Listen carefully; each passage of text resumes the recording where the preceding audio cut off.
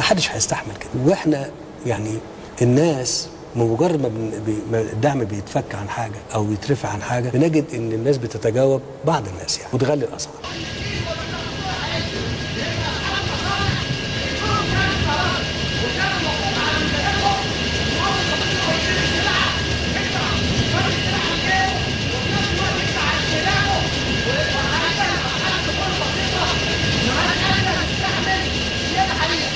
فلو انت جيت النهارده اتكلمت في كهرباء بدون دعم مطلق وغاز بدون دعم مطلق الناس مش هتستحمل.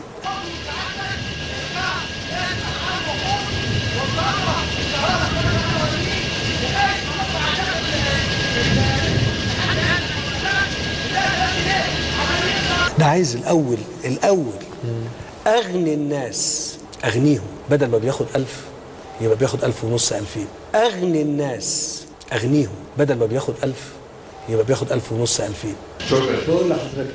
أنت مين؟ أنت مين؟ أغني الناس أغنيهم بدل ما بياخد ألف يبقى بياخد ألف ونص ألفين نكمل بقى الدعم آه عشان تعرف إنه كذاب وقت ما كان بينصب عليك وعلينا وعلى مصر كلها كذب من ضمن الكذب يعني كمية الكذب لا يمكن لا يستطيع أحد حصرها هو كان بيقول نفس الكلام اللي طلع الرجل الدكتور في القانون مش النايب. سيبك من النايب. لأن دي مش حاجة تشرف. بجد في البلد دي. سيسي اتكلم على الواقع. نايب مين يا نايب؟ دكتور القانون. قال له اللي قاله هو اللي قاله السيسي. بس الراجل ده قاله في وقت الضلمة. في وقت اللي الدنيا بقت محتاجة أي بني آدم يقف في وش ده ويقول له كده. السيسي قاله وقت الكذب وقت الرحرحة وقت النصب. وانت وأنا هعمل لك زي المليون طريق زي المليون فدان زي الطرق اللي كده زي مصر هتبقى كده زي كل حاجة في سنتين زي ما هنبقى قد الدنيا زي ما أنتوا هتعملوا زي ما كل حاجة. زي ما كل حاجة. مفيش حاجة اختلفت. اللي اختلف بس انه قعد على الكرسي.